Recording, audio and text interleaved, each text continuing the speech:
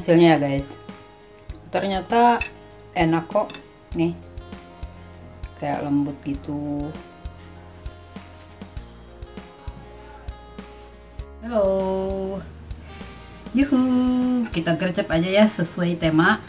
Martabak pisang. Jadi ada tiga buah pisang. Mari kita hancurkan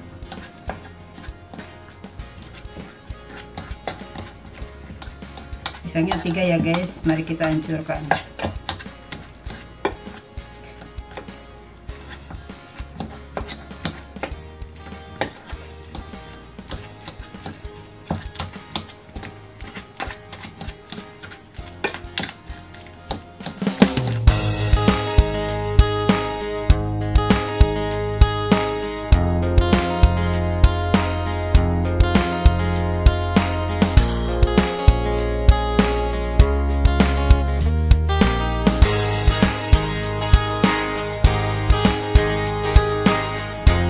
nih tiga buah pisang yang sudah matang tentunya ya.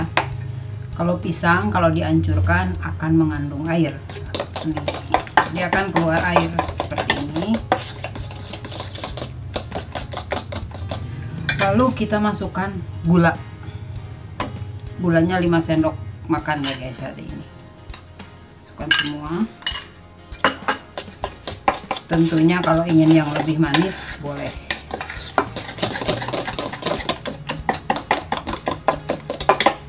lalu masukkan satu butir telur.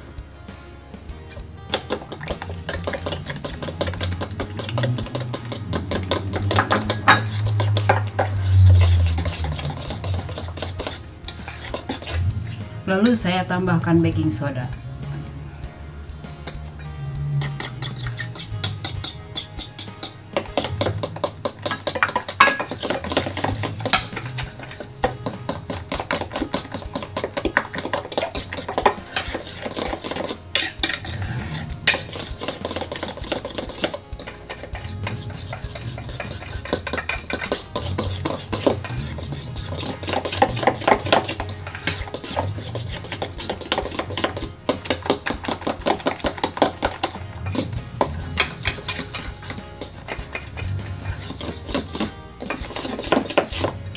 Oke, setelah begini kita masukkan terigunya ya, guys.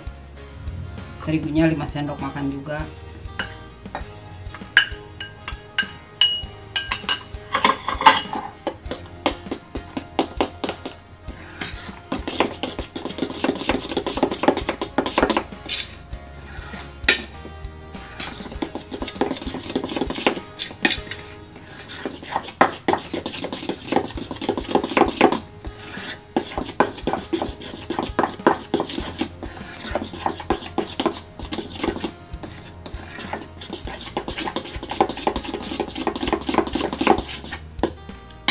Setelah tercampur rata, mari kita tambahkan minyak atau margarin cair. Seperti begini saja. Kita coba ya nanti hasilnya. Ini nanti bagus apa enggak.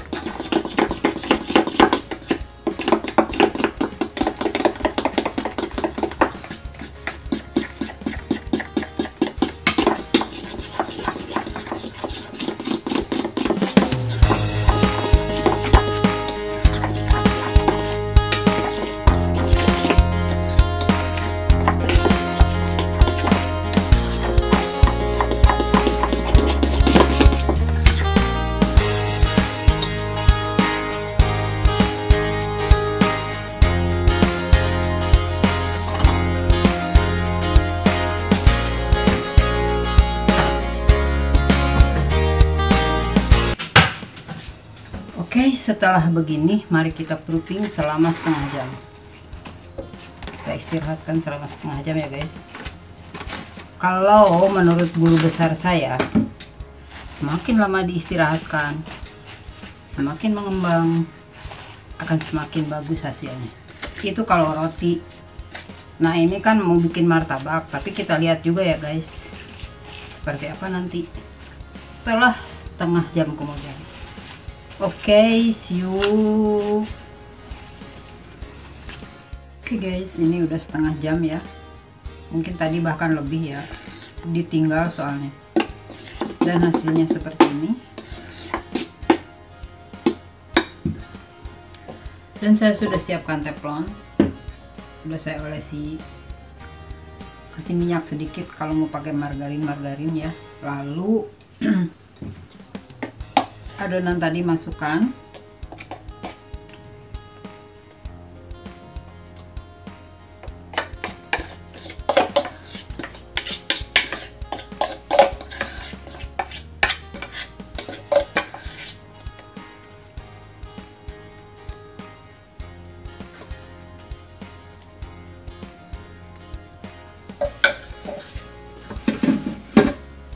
Nih jadikan seperti begini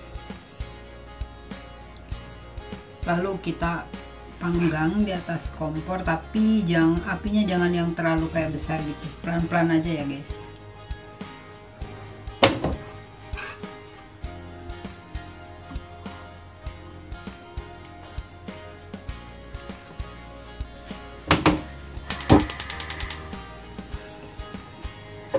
Jadi apinya apinya kecil aja seperti begitu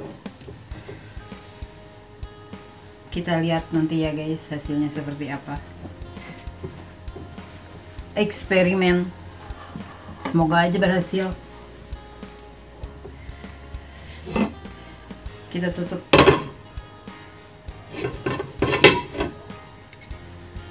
Apinya benar-benar jangan yang terlalu besar guys. Harus kecil.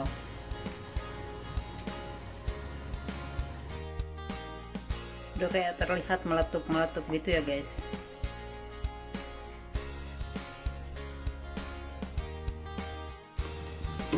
kita lihat guys. Ini tapi kayaknya harus dibalik tapi cara ngebaliknya agak susah juga nih.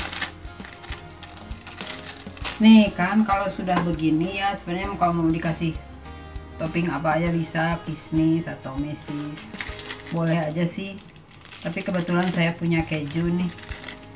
Coba taruh kasih keju aja di atasnya ya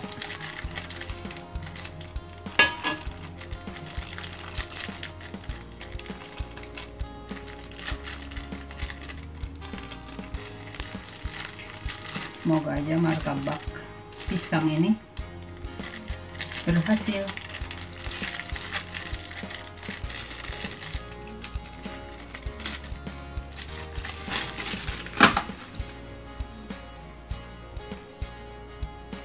Ini setelah dibalik ya guys. Sorry tidak di video. Agak ribet tadi. Besar sih. Tapi agak sedikit gosong. Tapi kayaknya harum gak apa-apa enak kok ini mari kita tunggu sampai agak sedikit matang.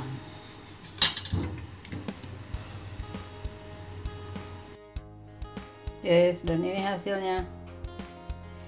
Kita coba iris ya nanti. Martabak pisang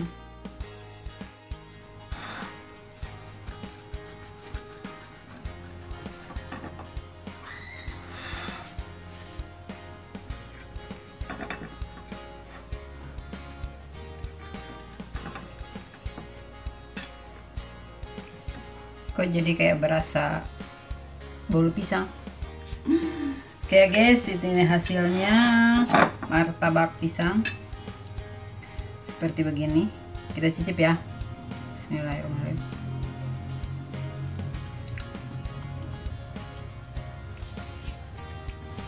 Tapi enak kok dalam masa-masa di rumah aja. Oke lah. Terima kasih ya guys yang selalu ada di video Mama Ngevlog. Thank you. Jangan bosan-bosan. Terima kasih yang selalu like, comment, and share-nya. Terima kasih yang belum subscribe silahkan di subscribe inilah martabak pisang. Ala-ala emak thank you for watching. See you next video. Wassalamualaikum warahmatullahi wabarakatuh. Bye